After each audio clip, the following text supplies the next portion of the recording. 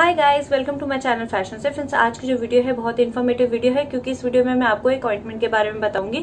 ये जो ऑइंटमेंट है इस ऑइंटमेंट का नाम है टी बैट ऑइंटमेंट बेसिकली अगर सपोज़ कि आपको uh, आप, आपको किसी भी तरीके का बैक्टीरियल इन्फेक्शन है सपोज़ कि वूंड है कट है और उसमें uh, उसमें इन्फेक्शन होना चालू हो गया है या फिर जैसे बॉयल uh, होता है पिम्पल्स होते हैं जो पस वाले बॉयल होते हैं ना पस वाले पिम्पल होते हैं ना जो बार बार बार बार ठीक होते हैं फिर आ जाते हैं फिर ठीक होते हैं, फिर आ जाते हैं। तो उस तरीके के पिंपल्स और बॉयल के लिए भी इस इस ऑइंटमेंट का यूज़ किया जाता है। या फिर अगर जैसे कई बार स्टिचेस लगे हों और उसके बाद उसमें बैक्टीरियल इन्फेक्शन होना चालू हो जाए तो इस ऑइंटमेंट का यूज़ किया जाता है।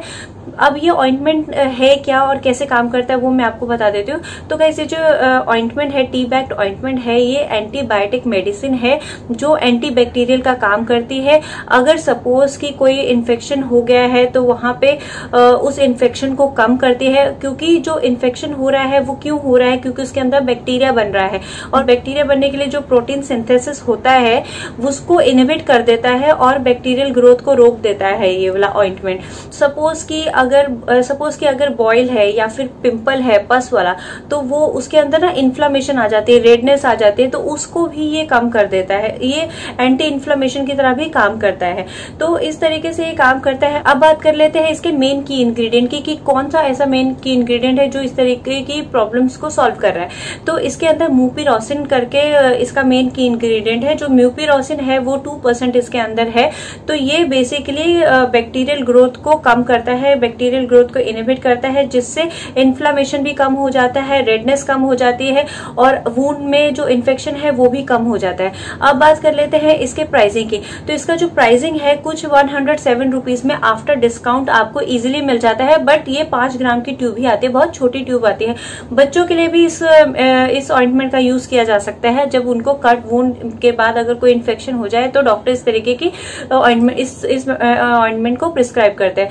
बेसिकली ये काफ़ी फ़ेमस ऑइंटमेंट है, जो अभी डर्मा डॉक्टर्स यूज़ कर रहे हैं, अगर किसी को इस तरीके की प्रॉब्लम होती है, जो मैंने आगे बताई। तो तो गाइस अब बात कर लेते हैं इसके साइड इफ़ेक्ट की।